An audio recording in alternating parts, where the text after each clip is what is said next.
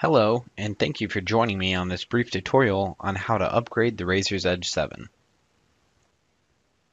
After downloading and extracting the Raiser's Edge install files from blackbaud.com, double-click on the folder you extracted to. Next, double-click on the setup.exe to launch the installation wizard. Soon, you will be prompted with the InstallShield wizard and prerequisite programs will be installed if necessary. Click Install to continue.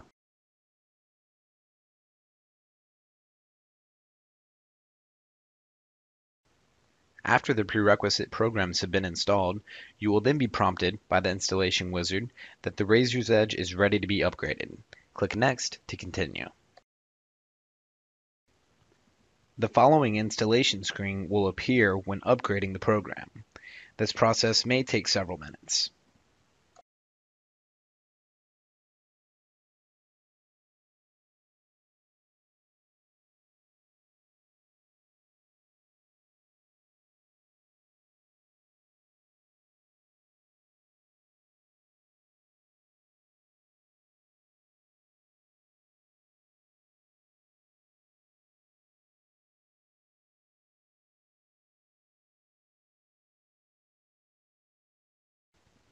After the upgrade has completed, click the Finish button to exit the installation wizard.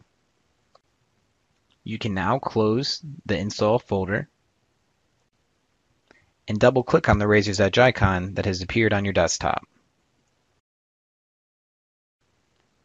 Once launched, the Raiser's Edge will ask if you want to log into the sample database or migrate an existing database. After selecting your database instance, you'll be prompted with a username login screen.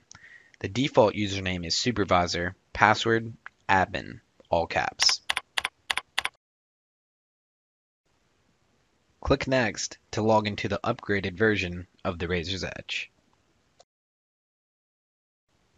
If the database you are logging into has not been updated to the latest version of the Raiser's Edge you have just upgraded to, the system changes will require your database to be updated. Click Yes to continue.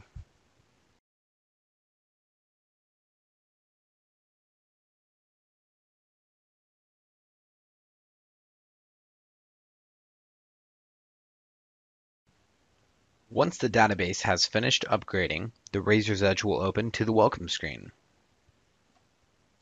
At this point, you have finished the upgrade process. And if you'd like, you can click File, Exit and Sign Out to close the Raiser's Edge. This concludes the brief tutorial on how to upgrade the Raiser's Edge 7.